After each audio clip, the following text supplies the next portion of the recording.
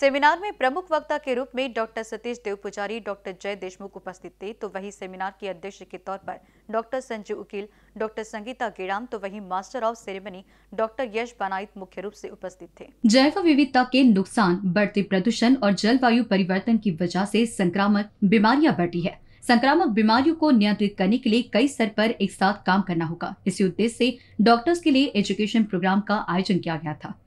ताकि हर डॉक्टर को अपने पास आने वाले हर पेशेंट का सटीक निदान कर पाए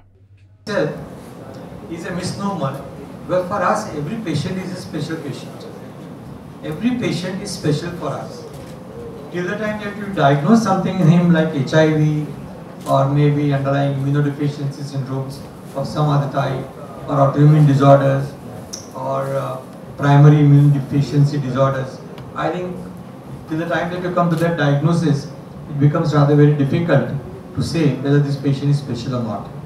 But then I just thought that this is such a vast uh, sort of uh, canvas on which I need to speak about.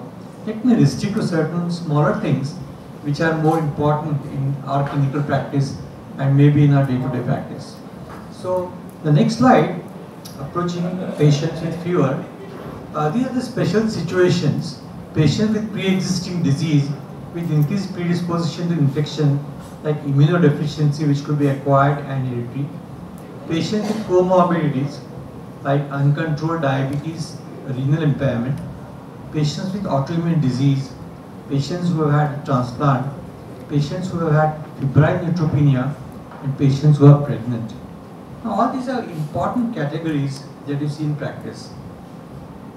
This is not the exhaustive list for me, a patient who is 80 years old with fever is a special patient for me because he is going to be quite different from a patient who is 20 years old.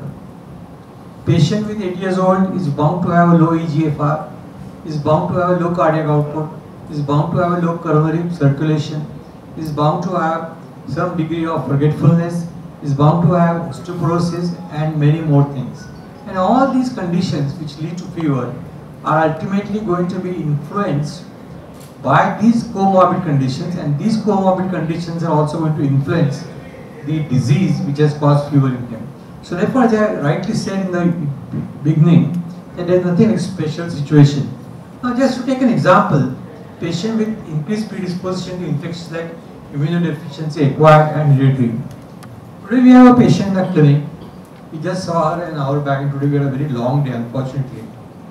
Patient coming with fever the last three weeks or one month, were alright for a week, again fever, again okay, again fever. And she went from place to place in Jabalpur and some other places. And when we saw her today, some small lymph nodes over here, some axillary lymph nodes, small lump in the biopsy, or some lump in the breast. FNAC etc. were done, only reactive lymph nodes were found. We were perplexed. Fever for six weeks, some degree of lymph nodes, female patient, FNAC is coming negative, what will it be? And uh, behold, uh, ANA coming negative, C3 complements being alright, blood culture negative, no bacterial endocarditis, and the routine Good evening.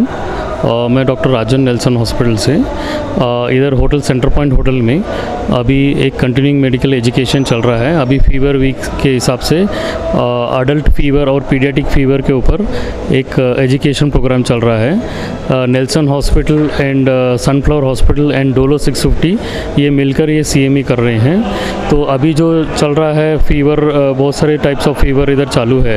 तो इसके ऊपर ज़्यादा knowledge transfer कर रहे हैं। तो senior physician doctor Jay Deshmukh and paediatric senior paediatrician doctor Satish Devpuji sir इस programme में उनका नॉलेज ट्रांसफ़र कर रहे हैं। और इधर more than hundred doctors are participating in this C और सभी को ये सी में आके सब डॉक्टर्स को इसमें बहुत नॉलेज ट्रांसफ़र हुआ, बहुत लाभ हुआ इसमें।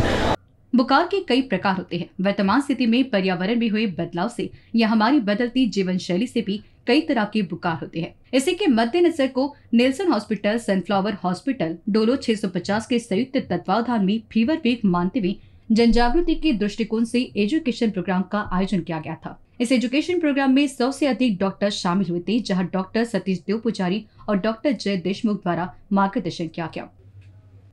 इस एजुकेशन प्रोग्राम में माइक्रो लैब लिमिटेड शामिल हुआ था जहाँ उनके द्वारा एक पहल की गई है। प्लास्टिक कचरे को लेकर जिसके संदर्भ में अधिक जानकारी साझा की गई। माइक्रो लैब एक सोशल इनिशिएटिव ले रहा है। Across the India almost this year 2025 के सेशन में we are planning to remove 350 metric ton plastic from the nature earth that helps nature to uh, fulfill their requirement as and for that purpose वही हम लोग कुछ लोगों को uh, job पे job पे रखेंगे, उनका मेडिकल एज वेल उनका जो सैलरी पार्ट है, वो उनको देंगे सो so दैट उनका जो लाइफस्टाइल है, जो कचरा उठाने वाला आदमी है, उसका लाइफस्टाइल इम्प्रूव होगा। एट द सेम टाइम जो नेचर है, वो क्लीन होगा। अगर ये हमारा इनिशिएटिव सक्सेसफुल होता है दिस ईयर तो next year we are planning to remove almost 500 metric ton plastic waste from the nature earth thank you प्रदूषण, जलवायु परिवर्तन, जैव विविधता को होते नुकसान से कई संक्रामक बीमारियाँ तेज़ी से पैर प्रसारी है, जिससे लड़ने या बचने के लिए डॉक्टर्स को भी सभी बीमारियों का ज्ञान होना ज़रूरी है। इसी उद्देश्य से इस फीवर वीक के दौरान उन्हें मार्गदर्शन किया गया, जिसका लाभ निश्चित ही उन्हें अपनी प्रैक्टिस के दौरान होगा। कैमरा पर्सन अजित कुंवर के साथ क्षितिजा देशमुख की रिपोर्ट।